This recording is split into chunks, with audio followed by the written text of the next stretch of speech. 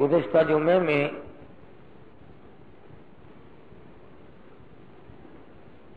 जिगर गो शय रसूल, नवा शय रसूल सैदना इमाम हुसैन रज़ी अल्लाह तु की शहादत के बारे में कुछ अर्ज़ किया था। उसका बकाया मजमून और उसका बकाया जमीमा और पतिमा इन हसब वादा आइंदा जो मारज करूँगा। और उसकी वजह यह है कि दीनदार तबका जो हमारे यहाँ कसरत से जुमे में लोग आते हैं, वो रायगंज तशरीफ़ ले गए। कुछ तैयार है, कुछ चले गए। अल्लाह तबारक वाली सबका ही पहुँचना कबूल फरमाए। किसी की कोई गरज दुनियावी नहीं, कोई सियासी गरज नहीं, कोई समाजी गरज नहीं। हर चलने वाले की नीयत यह है कि अल्लाह पाक मुझे अपना बंदा बना ले। और मैंने जो सारी उम्र में स्याकारियाँ की हैं, अल्लाह पाक उनको माफ़ फरमा दे।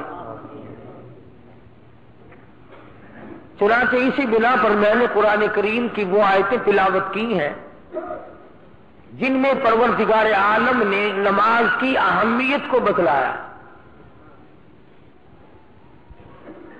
आज मुसलमान के दिल से नमाज़ की अजमत निकल गई, उसका एहतराम निकला, उसका खुशो खुजू निकला, उसकी नूरानियत निकली। मुसलमानों ने नमाज़ के मामले में बेपरवाही की, अल्लाह पाक ने रहमत की चादर उतार ली। बेइतमानी है, बेचैनी है इस तरह है पूरी कायनात इंसानी में। सदर ममलुकत से लेकर मामूली किस्म के आदमी तक सब भी चैन है। इसलिए कि हमने अल्लाह के आकाम को तोड़ा है। मालिक की नाफरमानी करके कभी कोई अच्छे रास्ते पे नहीं चल सकता।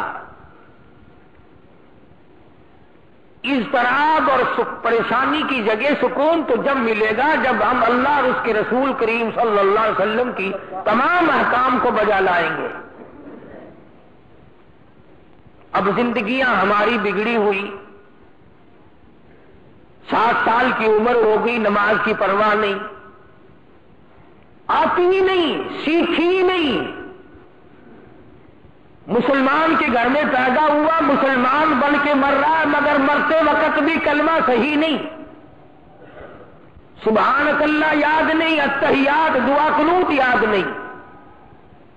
सारी उम्र में कभी इन चीज़ों की ज़रूरत न समझी।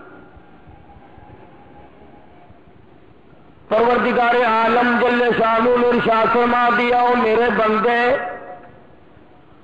अगर तू नमाज़ में खड़ा हो, मेरे सामने आज ज़िक्र, रुको कर, सजदा कर अतयात में बैठ के मुझसे मुलाकात कर।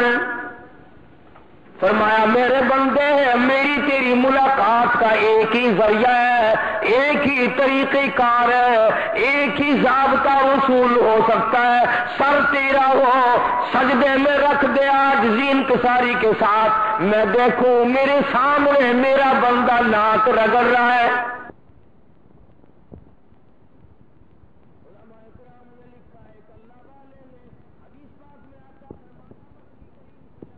जब आदमी अल्लाह अकबर कहता है, अल्लाह पाक जवाब में इर्शाद फरमाते हैं, मेरे बंदे ने मेरी बड़ाई बयान की। फिर सुबह अल्लाह पढ़ता है, आवाज़ आती है, मेरे बंदे ने मेरी तारीफ़ की। फिर अलम शरीफ पढ़ता है, आवाज़ आती है हामिदनी अबदी मजदनी अबदी।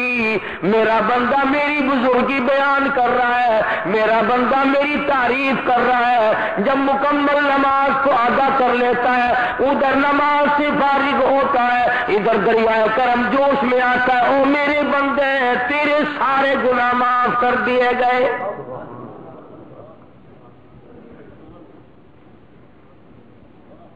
इर्शाद फरमाया, परवरदिगार आलम जल्ले शानों ने, नमाज़ मेरी हाजिरी है। असरात में आजिल और कमा काल नबी सल्लल्लाहु अलैहि वसल्लम, सरकार दो जहाँ हज़रत मोहम्मद रसूलुल्लाह सल्लल्लाहु अलैहि वसल्लम ने फरमाया, अल्लाह से मुलाकात करने की नमाज़ में राज है। अपने वक्त पर पढ़ी जाए, हिफाजत के साथ पढ़ी जाए, उसका एहतमाम किया जाए। शहनशाह का फरमान है आकमुल हाकिमीन का फरमान है। कोई अपनी मर्ज़ी से नहीं कि जिस तरीके से चाहे कोई पढ़े और जब चाहे पढ़े, ये बात नहीं।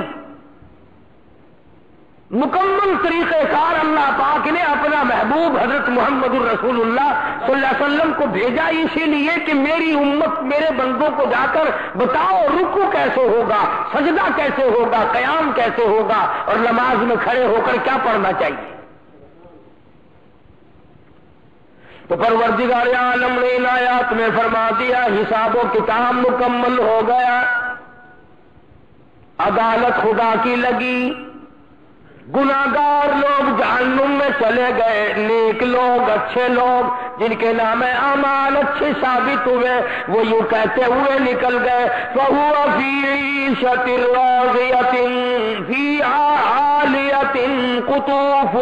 दानिया ओ आओ और मेरे बंदे, तूने मेरी नमाज़ कजा ना की, हेरा फेरी ना की, उसमें कोई चोरी ना की। आ, आज मैं तुझे उसके बदले में जन्नत का आला दर्जे का बाग दे दो।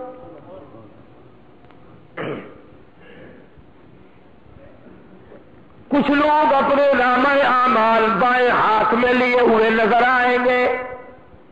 कुरानी करीम में आदमी की छाती को चीर कर बाया हाथ उसमें से गुजार कर, पीछे से नाम आमाल पकड़ाया जाएगा, पता चल जाएगा, ये है पुराने बदमाश।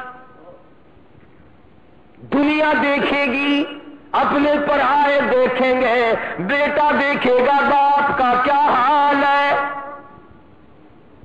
बेटी देखेगी अम्मी जान का क्या हाल है?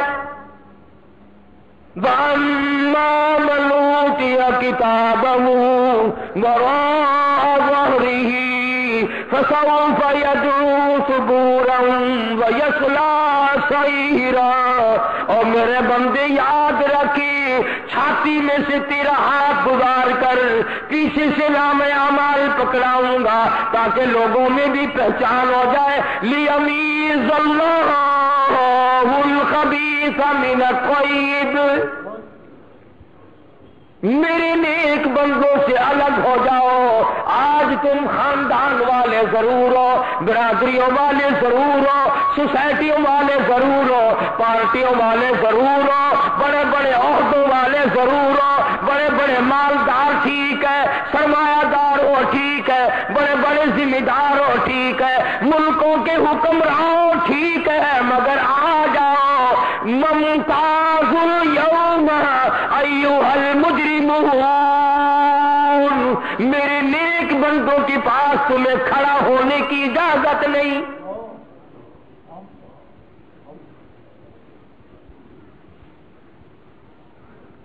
जन्नती जन्नत में चले गए, दोस्त की दोजख में चले गए। दोजखियों को तो कहाँ मोहलत मिलेगी बात करने की? तजर्बा कर देखो, आग पर उंगली रखो, फिर हाय हाय के सुबह तो बात करने का मौका ही नहीं रहता। अलबत्ता जन्नत वाले आपस में ज़िक्र करेंगे। भाई अगर दो चले गए तो ज़िक्र करेंगे, यार अब्बा जान नज़र नहीं आते। अम्मी नज़र नहीं आती। फलाना भाई हमारा नज़र नहीं आता फला दोस्त नहीं मालूम होता फला रिश्तेदार जन्नत में दिखाई नहीं दिया। अब वो लोग ख्याल करेंगे और उनका ख्याल ये सही होगा कि जब जन्नत में नज़र नहीं आते तो ठिकाने तो दो ही है, तीसरा तो नहीं।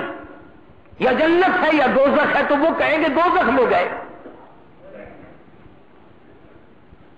तो जन्नतियों को इजाज़त होगी इस बात की कि तुम उनका बुरा असर देखो, जिन्होंने मेरे अहकाम के खिलाफ वर्जी की, जिन्होंने परवाह न की।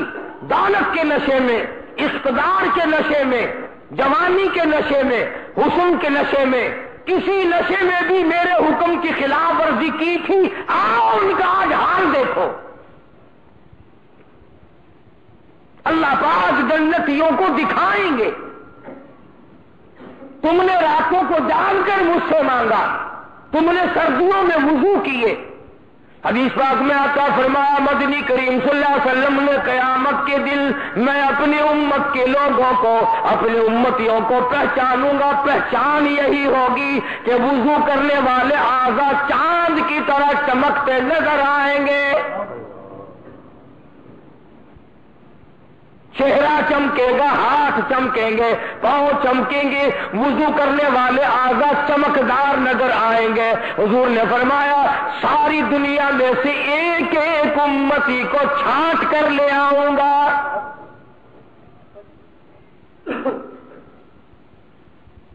तो जन्नती दो के किनारे पे जाएँगे, दरम्यान में खिड़की खोली जाएगी। वो पहचानेंगे। हैरान होंगे ये बात देखकर। मैं तो अपनी बीवी को बड़ी शरीफ समझता था। आज ये जानूम में जल रही है। मैं अपने बाप अब्बा को बड़ा नेक आदमी समझता था। आज ये जानूम में जल रहा है। मैं अपने अफसर को बड़ा शरीफ आदमी समझता था। आज जानूम में ये जल रहा है। मेरा फलाना रिश्तेदार, फलाना हमसाया, फलाना खानदान का आदमी, फला बरादरी का आदमी, ये आज जानूम में जल रहा है। मुताजिब होकर, हैरान होकर सवाल करेंगे, कुरान का तफी जन्नाती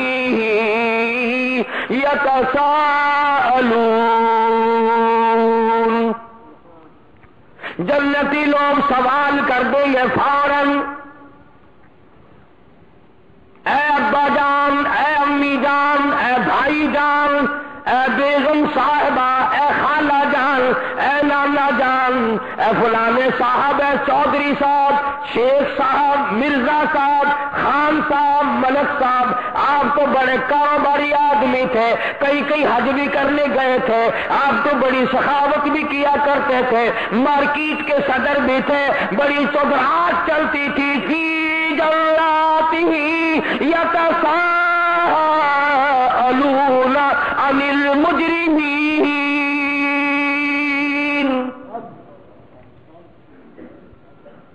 चौधरी साहब, ये आज क्या बनी?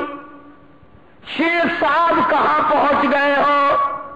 खान साहब, ये ठिकाना कैसे मिला? खान साहब, तुमने क्या गुना किए थे? क्या जुर्म किए थे? क्या तुमने शाकारी की थी? क्या बदकिरदारी की थी फ़ी जन्नाती यतसालू मुजरिमी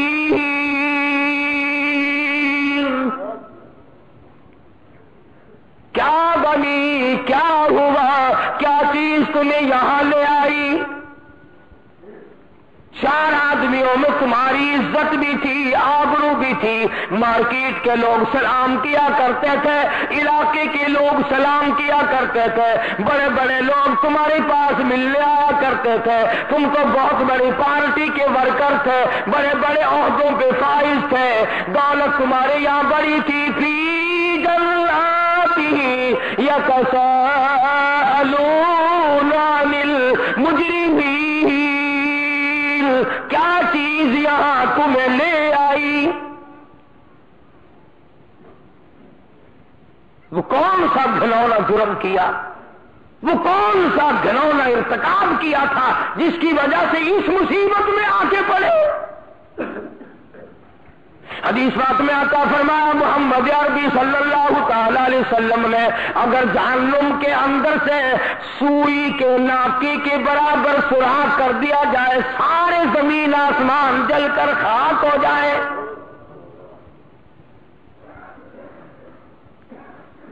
इर्शाद फरमाया, मदनी करीम सल्लल्लाहु अलैहि वसल्लम ने कि ये जो सर्दी गर्मी पड़ती है, जहन्नुम में दो लो तबके हैं। गर्म आजाब भी है, सर्द आजाब भी है।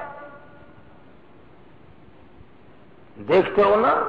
तफ्तीश करने वाला अमला कभी बिजली का करंट मारकर पूछते हैं हाँ बता चोरी की या नहीं? कभी बर्फ़ की सिल्ली पे लिटाकर पूछा करते हैं हाँ बता ये काम किया कि नहीं? जब दुनिया का तफशीशी अमला दोनों किस्म का आज़ाद देता है, गर्म भी और सर्द भी तो खुदा के यहाँ भी दोनों आज़ाद का इंतज़ाम है।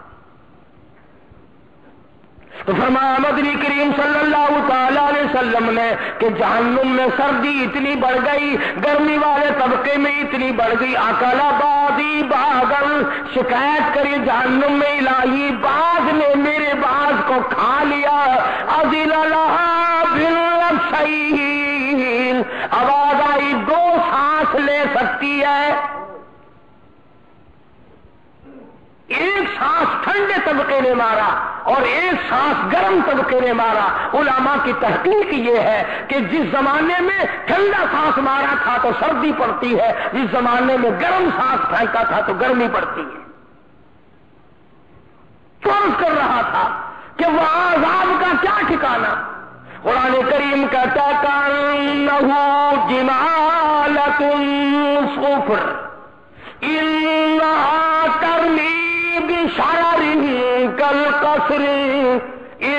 एक धारा ऊँट की तरह। कुल्लमा बदलनाहुम जुनूदुम गैरहा लियदूकुल अदाब। जहन्नुम में इस तरह का अदाब होगा, सत्तर सत्तर तय चमड़े की चल रही होंगी। आगे नया बनता जाता, पीछे जल रहा, फिर नया बन रहा, फिर जल रहा, सर से लेकर पैरों तक सत्तर सत्तर जगह से जल रहा है सत्तर सत्तर जगह नया बन रहा। है एक वक्त में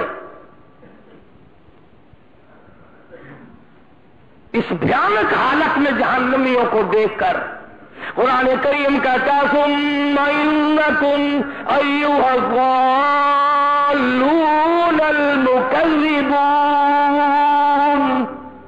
लाकिलून मिन शजरिन मिन जक्कूम फमालिऊन मिन अलबुतून लोग कहेंगे इलाही हज़ारों बरस गुजर गए खाने को कुछ न मिला लाखों बरस गुजर गए खा के कुछ न देखा हमने खाना देखा ही नहीं आवाज़ आएगी ये घास खाओ जिसको खाने से अतड़ियाँ बाहर निकल आएँगी। कुरान करीम है। लोग रोवेंगे और चिल्लावेंगे गधे की तरह से पाँच सौ पाँच सौ साल गुजर जाएँगे, आवाज़ लगाएँगे। वही युगासु बिमा कल मूली यशविल बुजू इलाही पानी पानी पानी। हज़ारों लाखों बरस गुजर गए, पानी देखा नहीं। आवाज़ आएगी, फसारी बूना लई मिनल हमी गर्मा गर्म खोलता हुआ पानी पिलाओ, जिसको पीने से ये दोनों लब ये दोनों होठ इतने सूझ जाएँगे। मेरे तेरे नबी का फरमान है, सारी कायनात के नबी का फरमान है, मोहम्मद करीम वसल्लम का फरमान है, ये नीचे का होठ सूझ कर पैरों के अंगूठों पे आ पड़ेगा, ऊपर का लब सूझ कर कमर पे जा पड़ेगा। और आवाज़ आएगी। तुमने जैसी मेरे कुरान की मेहमानी की थी, मैंने वैसी तुम्हारी मेहमान नवाजी कर दी। इस बुरी हालत में देखकर जन्नती लोग उनसे सवाल करते अफी जन्नती यतसालूनिल मुजरिमी जन्नती लोग मुजरिमों से सवाल करते हैं माँ सला का तुम भी सकर कैसे यहाँ पहुँच गए हो? क्या चीज़ तुम्हें यहाँ ले आई है? क्यों इतनी बड़ी मुसीबत में गिरफ़्तार हो गए? बात क्या बनी। अल्लाह सच्चा, अल्लाह का कुरान सच्चा। अल्लाह का भेजा हुआ मोहम्मद मुस्तफ़ा सल्लल्लाहु अलैहि वसल्लम के साथ सच्ची, कलाम सच्चा खुदा का। फरमाया, तमाम के तमाम दोजखी जहनमी एक ज़ुबान होकर बोल उठेंगे और कहेंगे, कौलू कहने लगे लम्लक मिलल मुसल्ली सबसे पहला जुर्म सबसे बड़ा गुना, सबसे बड़ा ऐब, सबसे बड़ा जुर्म फर्द हम पे जो लगा, वो ये लगा कि हम नमाज़ नहीं पढ़ते थे। खुद अपनी जबानी, आप बोल रहे हैं जहन्नुम में। कालू कहने लगे लमन को मिलल मुसल्ली। हमने नमाजों की परवाह न की। अजान हुआ करती थी, हम रेडियो बजाया करते थे। अजान हुआ करती थी, हम टेप चलाया करते थे। अजान हुआ करती थी, हम गाना बजाना किया करते थे। उधर अल्लाह का बुलावा आया करता था। इधर हम कंजरियों के गीत सुना करते थे। उधर अल्लाह का बुलावा, अल्लाह। अकबर की आवाज़ आती थी, इधर हम तरह तरह के भंगड़े डाला करते थे, दुकानों पे बैठ के गप्पे मारा करते थे, घर में पड़े सोए रहते थे, कौनू लमना को मिलल मुसल्ली हम नमाज़ नहीं पढ़ते थे।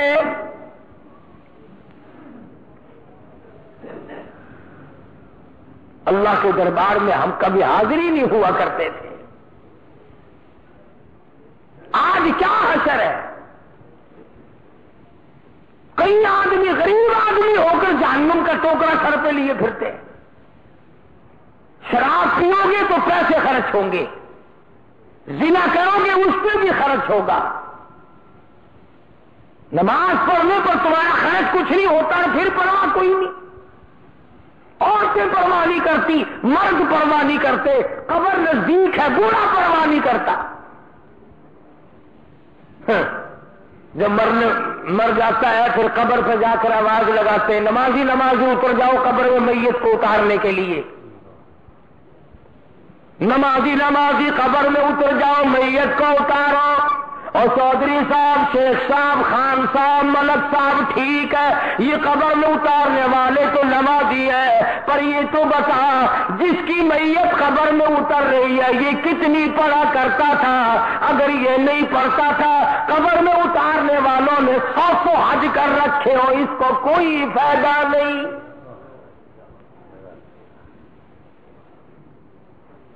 इसका नाम है अमाल चलेगा ये कबर में उतारने वालों का नाम अमाल चलेगा। गुना तेरा भुगतू मैं क्यों? और मैं ज़िम्मेदारी से कहता हूँ, मोहम्मद करीम सल्लल्लाहु अलैहि वसल्लम ने तमाम उम्र मुबारक में कभी भी किसी हालत में अभी बेनमाज का जनाजा नहीं पढ़ाया। तमाम ज़िंदगी में सैदना बकर सिद्दीक रज़ी अल्लाह तु ने बेनमाज का जनाजा नहीं पढ़ाया। फारूक आज़म रज़ी अल्लाह ने तमाम उम्र में बेनमाज का जनाजा नहीं पढ़ाया। सैदना उस्मान सिन्नूरैन रज़ी अल्लाह तु ने बेनमाज का जनाजा कभी नहीं पढ़ाया। सैदना अली मुर्तदा रज़ी अल्लाह तु ने बेनमाज का जनाजा कभी नहीं पढ़ाया। सैदना हसन हुसैन ने कभी भी बेनमाज का जनाजा नहीं पढ़ाया। अल्लामा सैयद अब्दुल कादर जीलानी, महबूब सुबहानी, रहमतुल्लाह बड़ा पीर, यारी वाले पीर ने कभी बेनमाज का सारी ज़िंदगी में जनाजा नहीं पढ़ाया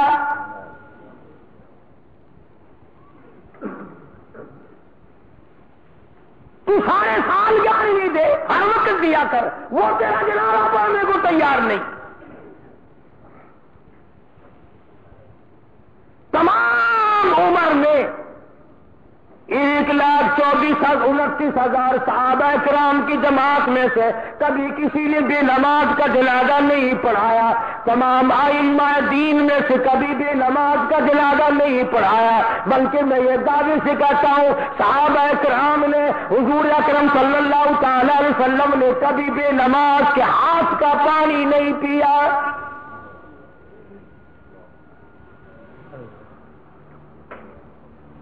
किसी ने बाबा फरीदुद्दीन शकरगंज रहमतुल्ला अलैह की बड़ी तारीफ़ की, उनकी वालदा सुन रही थी तो फरमाने लगी, ठीक है, तुम मेरे बेटे की तारीफ़ करते हो अच्छा है, पर मुझसे तो पूछो, मैंने ढाई बरस दूध पिलाया है, एक दिन बगैर वज़ू किए दूध नहीं पिलाया। जब नमाजों की ये हालत हो, तमाम मैं ज़िम्मेदारी से कहता हूँ अलल ऐलान कहता हूँ। तारीखी सबूत लाओ हदीस पाक की किताबों में से लाओ, कुरान करीम में से लाओ। कोई माई का लाल दिखाए तो सही कि कभी किसी सहाबी ने या हुजूर अकरम क्या फ़ायदा होगा इन जनाजों से?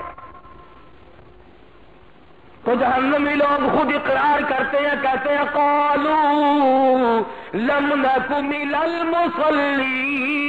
मुसल्लीन और गुना तो बाद में देखे जाएँगे और बातें तो बाद में आएँगी। और जन्नतियों और हमारे रिश्तेदारों और हमारी बरादरी के लोगों और मेरे खानदान के आदमियों, तुम मज़े कर गए। तू नमाज़ को जाया करता था, हम तेरा मज़ाक किया करते थे।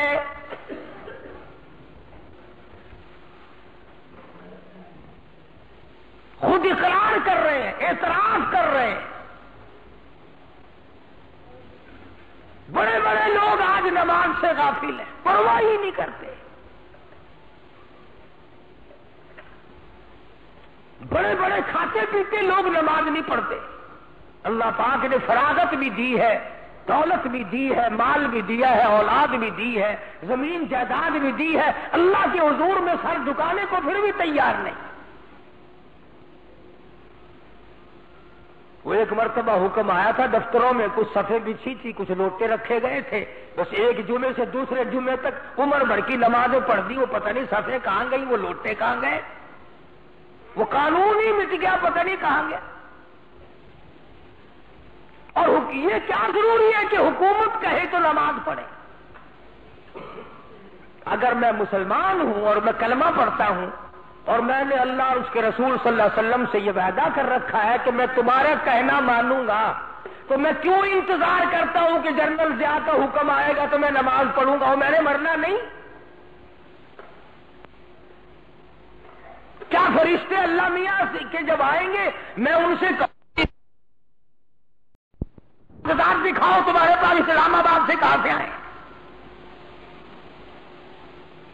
अपना अमल, अपनी खबर, अपने किरदार तमाम चीज़ें अपने जिम्मे रखो। भला तजीरू वाजिरा तुम विजरा उखरा। कुरान कहता कोई किसी का जिम्मेवार नहीं बनेगा। तो जन्नती लोगों ने पूछा जानमियों ने जवाब दे दिया, सबसे पहला जुर्म, सबसे पहला गुना सबसे पहली खता, सबसे बड़ा गुना हमारा ये बना, कालू लमन कुमिल मुसल्ली हम नमाज़ नहीं पढ़ा करते थे।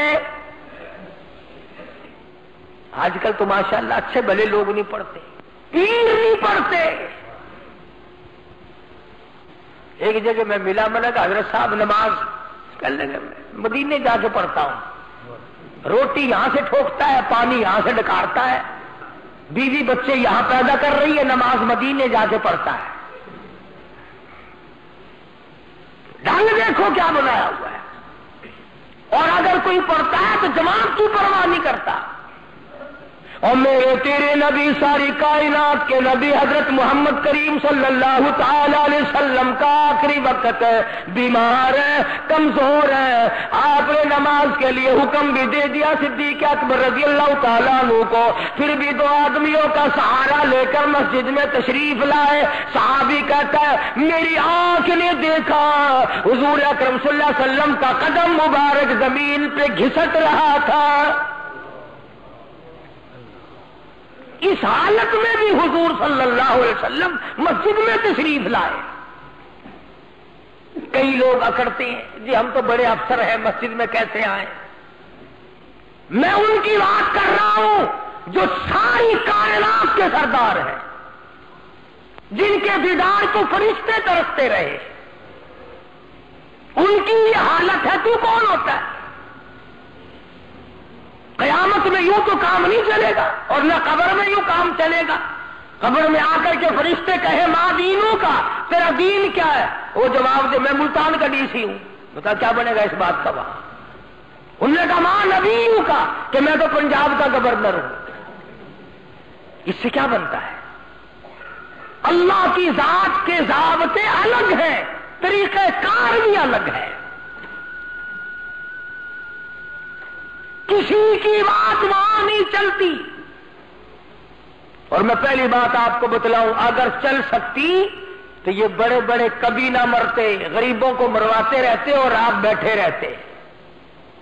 अगर वहाँ लेने देने से काम चलता तो ये एक भी ना मरता। ये जितने बादशाह हैं, जितने वज़ीर हैं, जितने दौलतमंद बहुत बड़े अमीर कबीर लोग हैं, ये मेरा तेरा नंबर लगवाते रहते, खुद यहीं बैठे रहते। अल्लाह भी ने फरमा दिया, जिसका टाइम आएगा, एक सांस नहीं लेने दूँगा ज़्यादा। फरमाएगा जा आजलुहा लायस्ताखिरून सातम वलायस्तकदिमून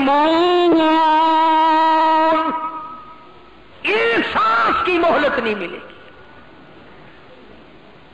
तो जन्नतियों ने सवाल किया, उनसे पूछा, तुम्हारा क्या हाल है? ये बुरी हालत क्यों बनी हुई है? तो उन्होंने जवाब दे दिया, शायर कहता कि यूँ कहने लगे, सर झुका, सर पर नाले है दोजक को तू,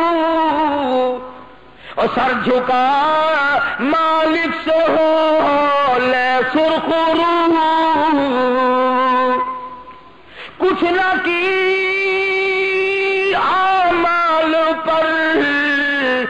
अपने नज़र आखिरत का आएगा।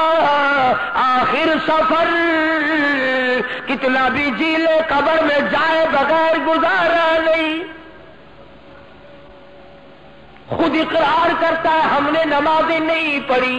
बेपरवाही की, गफलत में गुजारी। तमाम ज़िंदगी को आग लगा दी हमने। दोजखी दोजख में बोलकर इसीलिए जवाब देते हैं दोजखी दोजख में यू बोले तमाम, बानमाजों में न थे हम उस मकाम। हम नमाजें नहीं पढ़ा करते थे, इसलिए हालत ये बन गई। जन्नती कहते आग ने सब तन तुम्हारा खा लिया बिच्छू और सांपों ने सब संगवा दिया। हदीस पाक में आता है एक एक आदमी का बदन फूल कर तीन सौ तीन सौ मील लंबाई में हो जाएगा।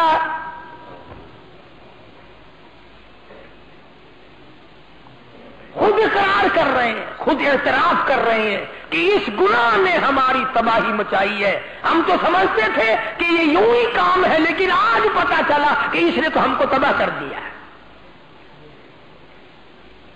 उधर जन्नती देख रहे हैं, उधर दोषी रो रो कर अपने हालात बता रहे हैं। भाई जान आप अच्छे निकले, रिश्ते मामू जान आप अच्छे रहे खालू जान आप अच्छे रहे। हम तो मुल्ला समझा करते थे, हम तो बेकार समझा करते थे, हम तो तुम्हें बेवकूफ़ समझा करते थे। लेकिन आज तुम्हारी हालत अच्छी है, तुम मज़े में हो, हम मारे गए। कुरान करीम में आता है अल्लाह पाक जल्ले शाह फरमाते हैं, दूसरा गुना खुद ही बताते हैं, वलम मिसकी दूसरा गुना दूसरा जुर्म हमारा ये था, हमने कभी किसी मोहताज को, किसी गरीब को खैरात दी नहीं। संग दिल सखत दिल लोग थे। हम जो आया उसको टरखा दिया, जो आया उसको टला दिया, जो आया उसको टला दिया। हदीस पाक में आता है, फरमाया मदनी करीम सल्लल्लाहु अलैहि वसल्लम ने, सदके से खुदा का गजब इस तरह बुझ जाता है जैसे आग पे पानी डाल। तो उन्होंने खुद इकरार किया कि जी मुकदमे पे तो खूब लगाया करते थे हम, और बदमाशी पे भी हम खूब खर्च किया करते थे। शराब किसी भाव मिलती थी, हमने नहीं छोड़ी। चरस फीम भंग किसी भाव मिलती थी, हमने कभी नहीं छोड़ी। रंडीबाजी पे कितना ही खर्च होता था, हमने कभी नहीं छोड़ा। तईमुल मुस्किन, अल्लाह के राह पे हमसे दामे देने की तोफीक ही ना हुई। कुरान करीम उनकी जुबानी बयान कर रहा है, कुरान सच्चा, कुरान के भेजने वाला सच्चा, जिस पर कुरान नाजिल किया गया, वो सारी कायनात में सबसे ज़्यादा सच्चा। हज़रत मोहम्मद रसूलुल्लाह सबका तो सल्लल्लाहु अलैहि वसल्लम की जात। और कराम ने लिखा, इधर जन्नती खड़े होंगे, उधर दोस्ती खड़े हो करके रो रहे हैं, बुरा हाल है। कहते हैं, आवेगा गुस्से से जब दो जख्म जोश, और पास वालों के भी उड़ जाएँगे होश। कई कई सौ मील तक लपट निकल जाएँगी कुरानी करीम का बाईसवा सिपारा उठाओ। लोग दौड़ेंगे, भागेंगे, जान बच जाए। हमारा